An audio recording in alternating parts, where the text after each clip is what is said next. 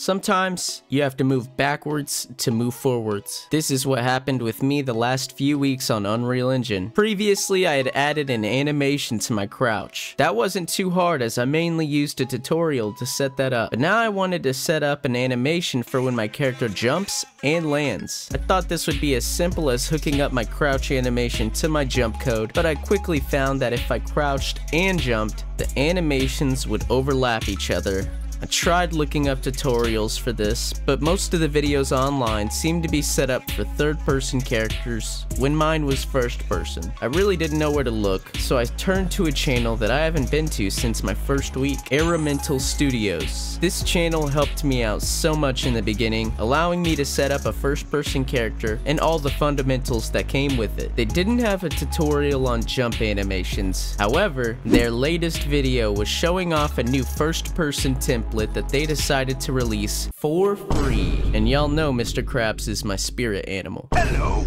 I like money. In this template, it comes with all the code from his previous tutorials, as well as a jump animation. And since the jump animation was what I was really needing, your boy grabbed that template real quick. Inside the template, I finally got to see how they set up the jumping animations, which was using a camera animation sequence. This allows for blending between animations. This was super helpful and honestly easy to modify. Saved me tons of headache and time searching for for solutions. Now, you might call me lazy. Okay, I'll be that. But I didn't quite know how to recreate this in my project. So I figured it would be easier to just copy my code and paste it into this template. Things like my physics system took quite a bit of work to get properly moved over. But after a day or so, I finally got all my code and settings moved over. This was also a good decision because I can use my old project as a testing ground for certain features and move it over when those features are polished.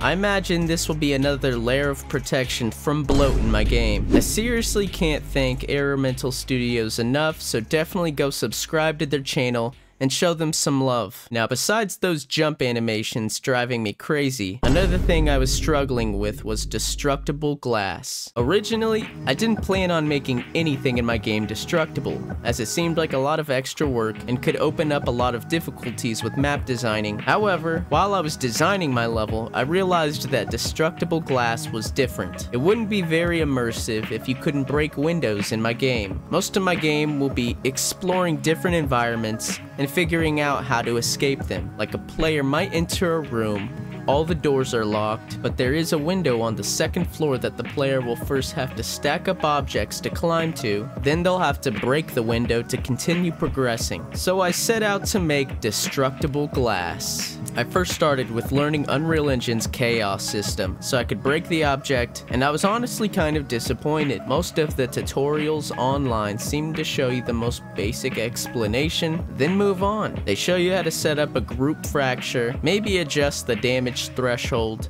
and that's it. I did what the tutorials would show, and would be left with tons of issues. Like for my glass, I could break it, yeah, but it would all break together, and the window would just fall out as one piece after that. I was able to fix this a little by anchoring one of the fractures, but that still left me with annoying collision. I couldn't walk through the window if there was still fractures in it blocking my way, and all of the broken glass shards on the ground couldn't be walked on, or it would just straight up send my character flying. However, after a few days of searching, I did come across Ryan Laley's video series on making a destructible jug. The second video in this series showed how to set up custom collision profiles and how to apply that collision to the different levels of the fractures. This was super helpful, and later videos in the series fleshed out the system even further. It's still not perfect, as I'll need to set up a damage field connected to my player that will be able to break secondary levels of the fracture, but I still wanted to show off the progress. The next part of making destructible glass is the actual glass material. There's tons of tutorials on this, but much like the fracture tutorials, a lot of these tutorials were basic and didn't really give convincing results at the end. A lot of the tutorials you'll find will show how to make materials transparent, give the glass a color,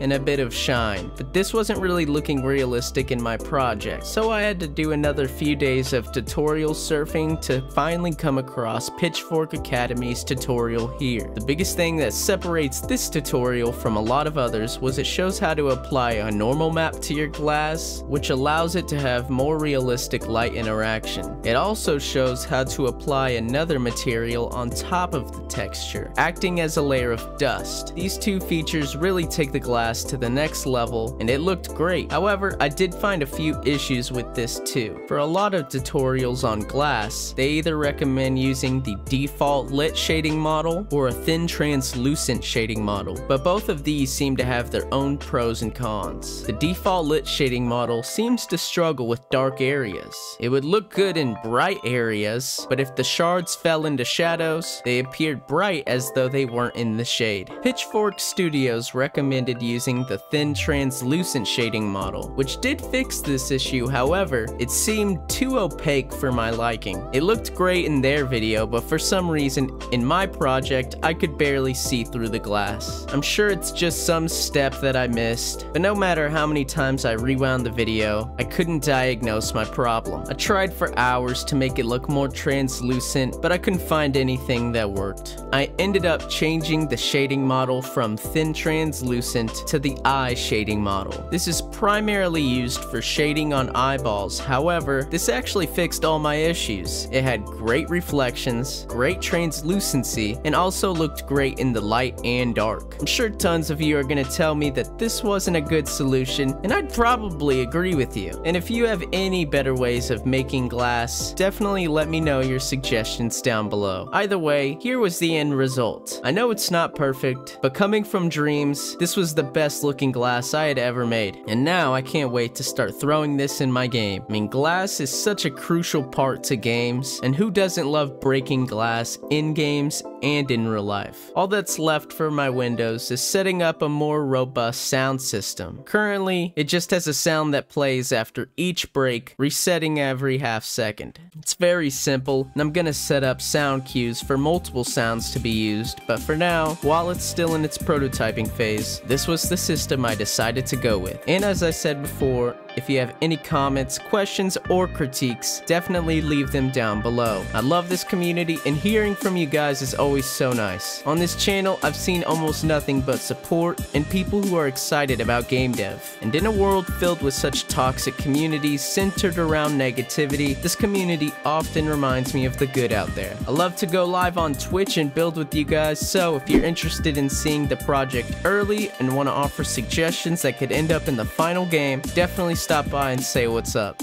But if not, I'll just see you in the next Unreal Struggle Sesh. Oh, that's very good. But I'm a bit confused and perhaps you can help me. What I don't understand is that you've been working since, I think, what, about six this morning. Yet, such a small pile of hinges.